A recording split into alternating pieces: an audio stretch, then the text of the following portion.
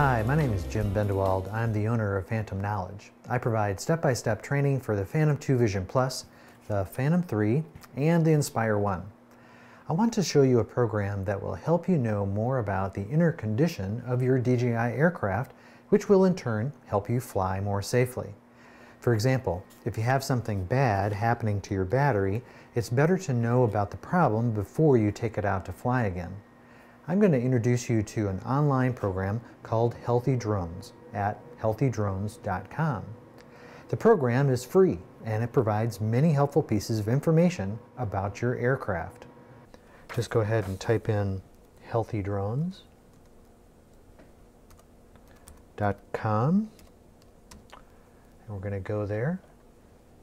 To get started, I want to take a look at this beginning paragraph here. Is your drone healthy or is it about to surprise you on your next flight?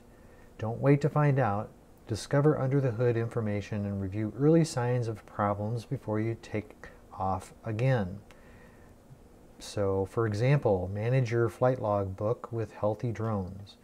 Specifically, let's look at this one down here automatic battery checking takeoff and landing capacity, total minutes in use, charge counter, temperature tracking, and more.